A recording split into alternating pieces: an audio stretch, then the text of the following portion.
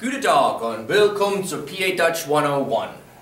This is video 7 in our series and it will deal with the grammar topic of verbs and the conjugation of verbs, which in Pennsylvania Dutch we really don't have words for those, so I use the English again, verbs und conjugation. So we'll talk about that today. Again, this is a grammar-based video. If you haven't seen videos 1 through 6, I highly recommend you going back and checking those out first because we'll be talking a lot about material covered in the previous videos to, in order to understand the topics in video 7. So let's get going. Verbs and conjugation. As you learned at some point in school, uh, a verb is an action word like to jump, to sing, or to play. Okay? In Pennsylvania Dutch, verbs are action words too. So one thing that you might not have been actually taught because you just learn how to do this as you're learning your language, whether it was English or whatever your first language was, this is that in English and in other languages, verbs conjugate. Conjugate means they change, and, and that's the big topic today in learning how to be able to do that. Um, the thing is that everybody, no matter what language you speak, you've been conjugating verbs your whole life, and for most of us, we don't even realize we're doing it, and we, we just do it. Okay? Our goal is eventually to get you to do that in Pennsylvania Dutch without even thinking about it too, but we got to learn how to do it first before we ever get to that stage. Okay? So, just to give you an example of what I mean by conjugation, let's take the verb to play and conjugate it for the various forms in English. Now, when we conjugate a verb, we are really basing the verb off of whatever the subject of our sentence is. So, a noun. And I would highly recommend if you didn't see the video on personal pronouns that you go back and watch that first before going any farther in this video because learning and knowing the personal pronouns are vital and key to being able to conjugate verbs properly. So, uh, but let's take the verb to play in English and conjugate it for the various personal pronouns that we learned before. I play. You play. He or she plays. We play. You guys play. They play. Pretty simple. In English, verbs don't change much when they conjugate in the present tense. Really, the only place a verb usually changes in English is in the he or she, third person singular. Gets an S. And that's the, that's the general case. Sometimes that isn't true, but most times it is in English. Okay? So if you notice, when a verb conjugates in English, it's pretty easy. Doesn't change much. Uh, that's not the case in Pennsylvania Dutch, and that's what we're going to talk about here in a couple of seconds. So, unlike English, Pennsylvania Dutch, a verb changes quite a bit. It's not just add an S, sadly. I wish it was that easy, but it's not. What you're going to find is that all verbs in Pennsylvania Dutch, no matter what verb you're dealing with, will always end in an E. If you bought one of those fancy dictionaries, one of those dictionaries that I advertised in the first video, you look up a verb, pick any verb to sing, let's say, you look up in that dictionary and you find the word to sing in English, to sing in English. In Dutch, it'll be singe. That, what you see in the dictionary, singe, S-I-N-G-E, is what we call the infinitive. That's the pure form of the verb, what you'll find in a dictionary. All of those infinitives are going to end in an E. Here's another example. The verb to say in Pennsylvania Dutch, saw, ends in an E in the infinitive. Okay? So that's the ground. We've got to remember that. All verbs end in E in, in Pennsylvania Dutch. Now, when we want to conjugate, there are two rules in Pennsylvania Dutch to conjugating verbs, and they never get broken. Okay? So learn the rules and don't worry about, well, sometimes you gotta do this. The two rules that we're about to cover will not get broken. Okay? We're gonna add to them eventually, but there's only they don't get broken. So here's rule number one when you need to conjugate a verb. The first thing you need to do when you find that infinitive form, that verb, for example, zaw, the first thing you need to do, drop that E. Just take it away. What you're left with is what we call the stem.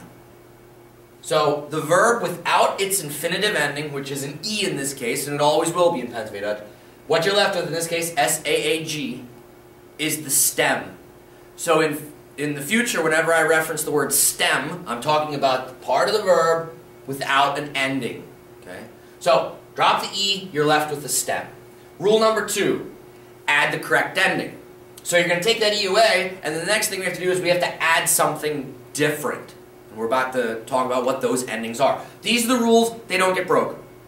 So drop the E, add the ending, add the correct ending. Okay? What are those endings? If you remember in our personal pronouns video, we had a chart very similar to this. in the exact same order. And if you remember during that video, I said it is so important for you to memorize these personal pronouns in this order, okay? Here's another example why, or another reason why. When we conjugate verbs, if you have those personal pronouns memorized in this order, and we memorize these new endings in that order, now you're not goofing around anymore. You got it, you know it, okay? So here are the endings. Whenever you're conjugating a verb for ich, there's no ending. So you take that e away, what you're left with, the stem, you're done. You've conjugated a verb for ich. For du, drop the e, add s-c-h-t. For z, or s, drop the e, add a t. For mir, drop the e, put it back. That's an easy one. For dir, drop the e, put a t. And for z, drop the e, put it back. Just so happens that way. No ending, S-C-H-T, T-E-T-E.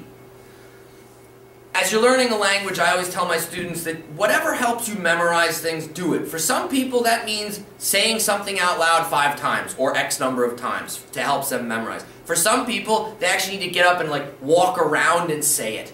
Uh, whatever helps you, do it. And who cares how foolish you might look doing it. But you want to memorize these and in this order because it makes things so much easier down the road. You're not constantly having to flip back and look in your notes or look at previous videos. If you memorize this chart now, it's going to help you down the road. So whatever helps you, do it. There's no right or wrong way to memorizing things because everybody's different when it comes to that. For me, I'm the kind of person sometimes I actually have to get up and walk around and say it. Or rhythm, I do something in rhythm. Or I sing it. Whatever works for you, do it. Ich, no ending. Du, S-C-H-T. Er, S-T. Mir, E. Dir, T, C and C, E. Ich, no ending. Du, S-C-H-T. Er, S-T. Mir, E. Dir, T, C, E. Whatever helps you, do it. Memorize these in this order. So, now we know our two rules, and we have our endings, okay? So let's actually utilize this and conjugate a verb. Let's go back to the verb we talked about earlier. Saw, to say. Okay? We want to conjugate saw for all of our personal pronouns in that order. We're memorizing in that order. So, if you wanted to say, I say, really simple basic sentence, but we got to do it correctly. Rule number one, take the E away, add the correct ending. Well, we know from our chart that we just looked at that for ich there is no ending, so you would just be left with saw. Ich sag etwas. I say something. Ich sag etwas. For the du, take the E away, add the S-C-H-T. Du sagst etwas. You are saying something, or you say something.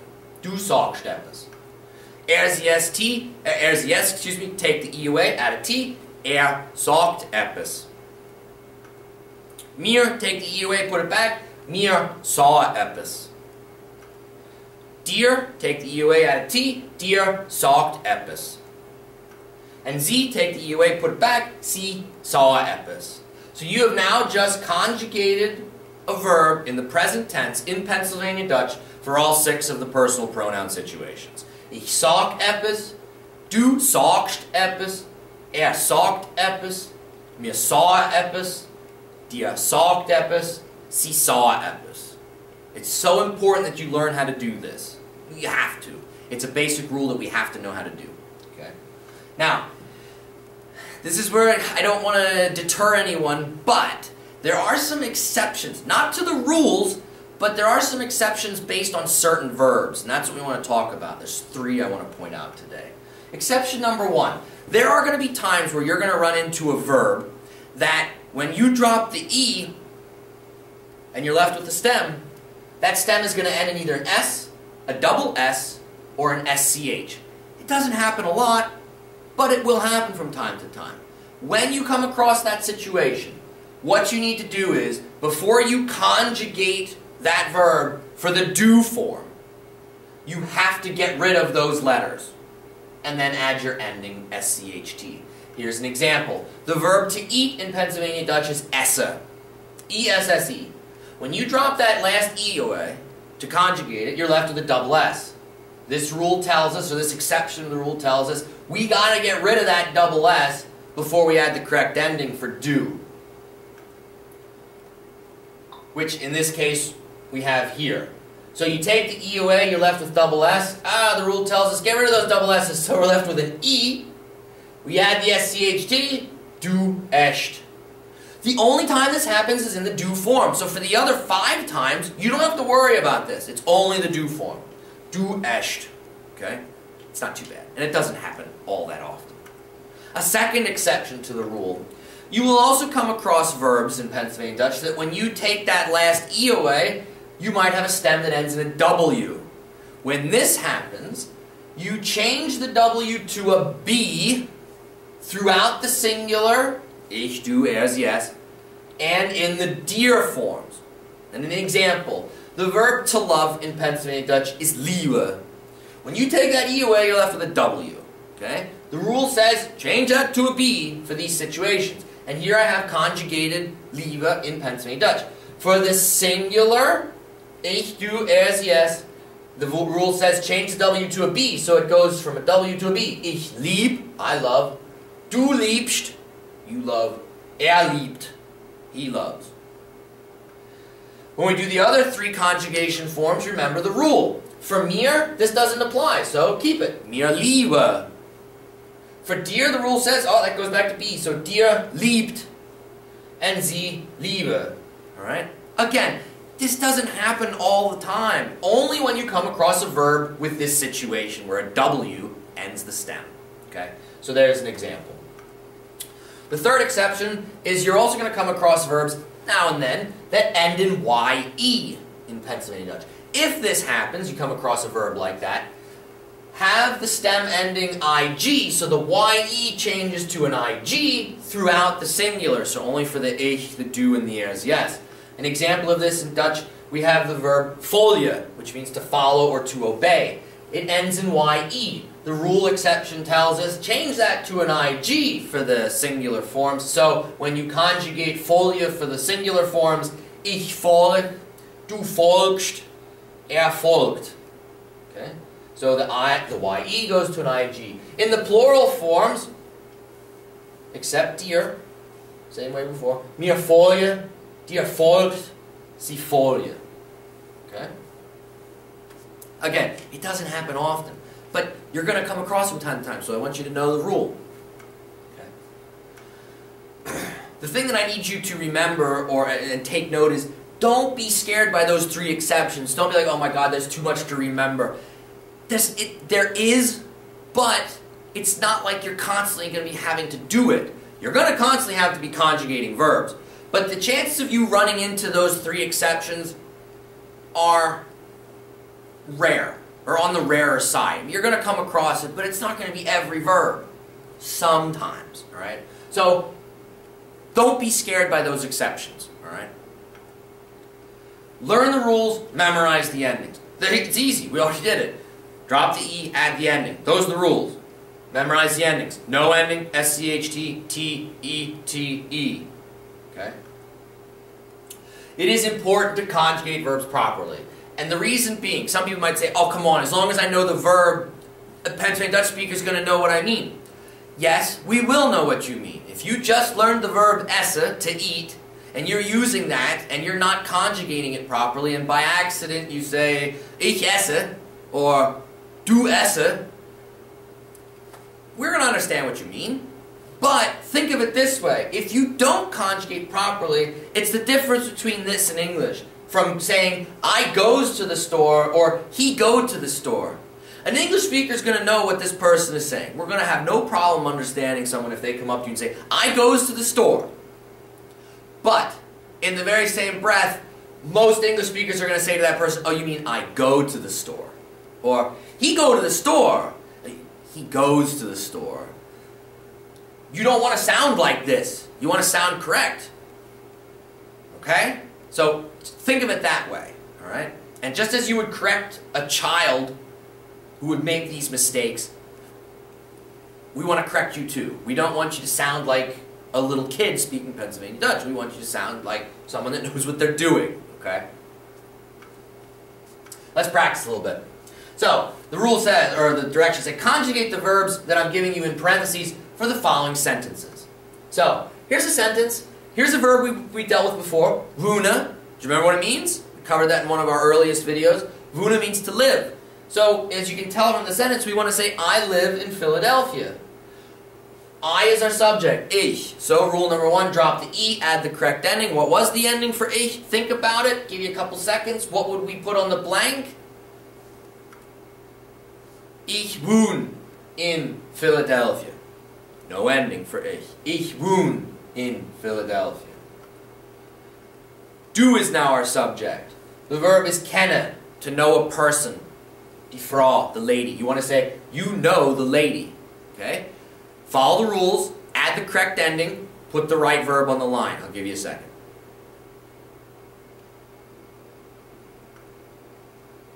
Du kennst die Frau. Take the EUA, add SCHT. Du kennst die Frau. Okay? This time, our subject is der Karl. Well, Karl's a guy. So, when you think of your personal pronouns, what would you replace Karl with? You'd replace it with he, right? So, er. Think of it that way. Our verb this time is gehe, to go. We want to say in die Städte, in the town. So, Karl is going into town, or in the town. Conjugate the verb gehe correctly for Karl. Der Karl geht in die Städte. Okay? Der Karl geht in die Städte. Let's do some more. This time our subject is mir. We. Our verb is komme, to come. To a party. We are coming to the party. What do we do? This is an easy one. Remember, when mir is our subject, pff, not much to do here. What would it be?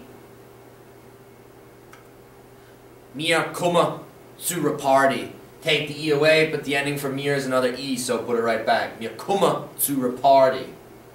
This next one, our subject is dir, you guys. Our verb this time is bringe, to bring. Eure Bücher. You guys are bringing your books. That's what we want to say. So, how do we conjugate the verb bringe for dir? Think of the rules and add the correct ending. What would it be? Dir bringt T ending, eure Bücher. Dir bringt eure Bücher. And finally, z plural, so they is our subject time. The verb is singe, to sing, and Lied, a song. We want to say they are singing a song. Take the verb, do the rules. What are you left with?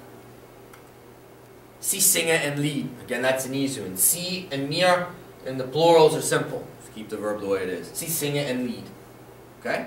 So there, we just conjugated six verbs, six different verbs in the present tense for all six of the personal pronoun situations. All right? Now, what I would ask you to do is if you got those dictionaries, uh, between now and the next video, practice this. And it's an easy way to practice. Take your dictionary or on a sheet of paper, think of five verbs in English. I don't care, anything. Five verbs. Jot them down in English. Look them up in the dictionary. Find the Dutch translation. Okay? Then, take any one of those verbs and just start making simple sentences. At this point, like keep them simple. Just start short things like, he jumps, or we sleep. First off, you're going to be building vocabulary because you're going to learn the verb for jump and the verb for sleep. And then, take that verb and, and make simple sentences. Follow the rules, add the endings, and you'll be okay. Alright? Now remember, when you're looking at verbs, you might come across a verb that fits into one of those exceptions. If you do, practice that verb a little bit more than the other ones so that you get to the point where we want you eventually to get to the point with certain with these verbs with exceptions to start doing the exception rule without thinking about it, without having to look it up. That takes practice. You're not going to be able to do that right off the bat. But if you practice, you can hopefully get there. Okay? So that you get to a verb with a YE and right away you know what to do. That you don't have to look back in your notes or look back in the video and say, what do I do with a YE verb? You'll see it, you'll know what to do. But you're not going to get there right away. Okay? Gotta practice. So that would be my suggestion between now and the next video. Build vocabulary. Look up, look up crazy verbs. Who knows? Think of a verb, look it up. And if it, if it just happens to not be in that dictionary, then pick another verb. Don't get frustrated.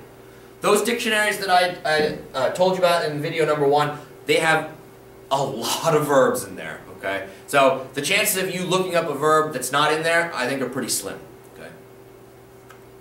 So that's it for today. We learned how to conjugate a verb properly in the present tense for all six of the personal pronoun situations.